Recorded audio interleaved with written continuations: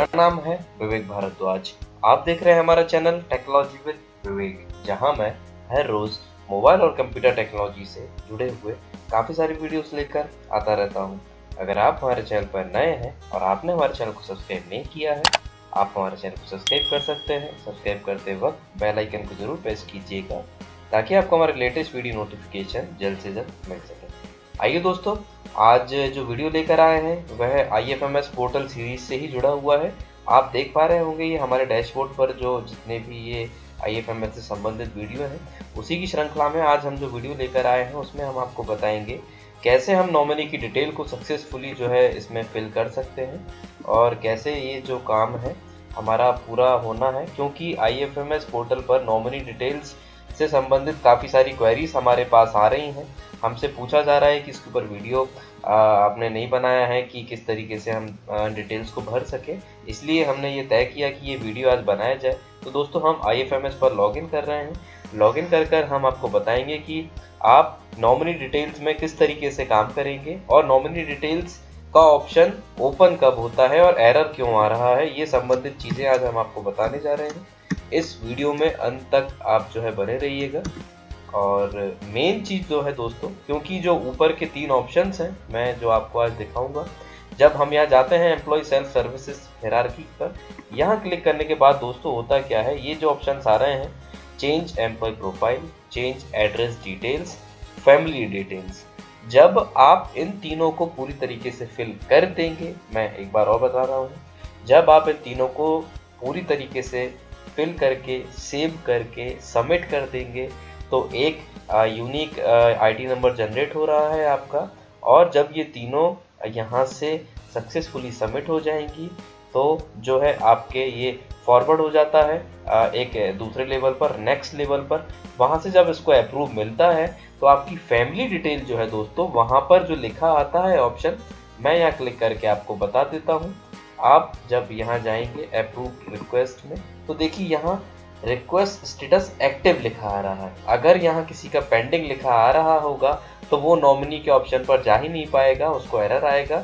लेकिन जैसे ही request status जो है यहाँ एक्टिव आ जाएगा तो आपको करना क्या है? अब आपको चलना है नॉमिनी डिटेल्स पर।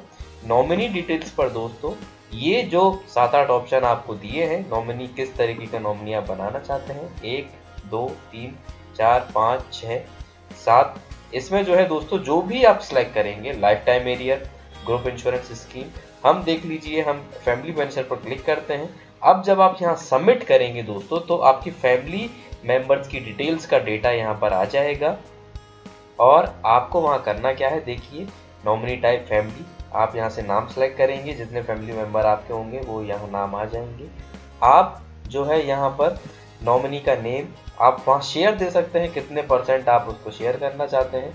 ये जो है, जैसे ही आप फिल करते जाएँगे, आप सिलेक्ट करते जाएँगे, हमने ये सिलेक्ट कर दिया है।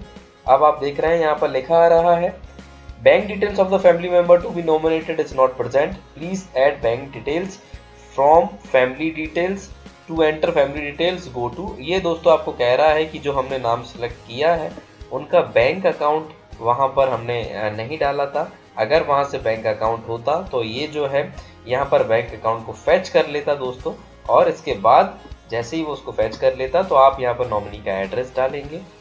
नॉमिनी बैंक डिटेल ये देखिए, ये ऑटोमेटिकली यहाँ पर जो है फिल हो जाएगी क्योंकि अभी ये जो है यहाँ पर डिसेबल दिखाई दे रही है। इनवैलिड नॉमिनेशन में भी दोस्तों आप ये पढ़ सकते हैं। और जैसे ही आप ये पूरा काम कर देंगे, इसके बाद आपको वैलिड डॉक्यूमेंट भी देना है नॉमिनी का, उसको यहाँ पर ऐड करना है। ऐड करते जाना है दोस्तों, ये पहली बार आप जब पूरा डॉक्यूमेंट यहाँ ऐड कर देंगे, इसके बाद आप नेक्स्ट फिर से जाएँगे।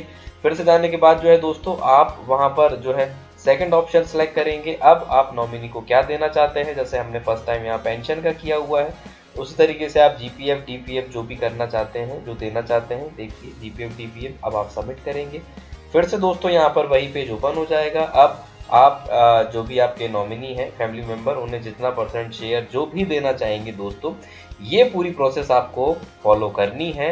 लेकिन मैं एक बार और आपको कहूँ नॉमिनी डिटेल्स तक जाने का रास्ता वह ऊपर की तीन चीज़ें हैं उन्हें जब आप पूरी तरीके से सॉल्व कर देंगे। और फैमिली डिटेल्स में स्टेटस एक्टिव लिखा आएगा पेंडिंग की जगह।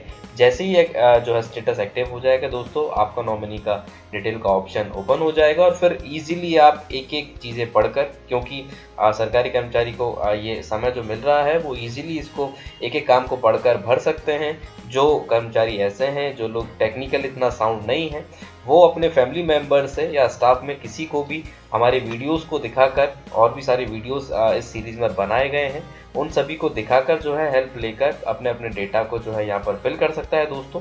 तो ये वीडियो था उन लोगों के कहने पर जिनको नॉमिनी डिटेल्स भरने में परेशानी आ रही थी। आप इस वीडियो को ज़्यादा से ज़्यादा शेयर कीजिए अपने दोस्तों में, अपने और भी जो कलीग्स लोग हैं उनमें। कमेंट कीजिए लाइक कीजिए चैनल को सब्सक्राइब कीजिए। मेरा नाम है विवेक भारद्वाज थैंक यू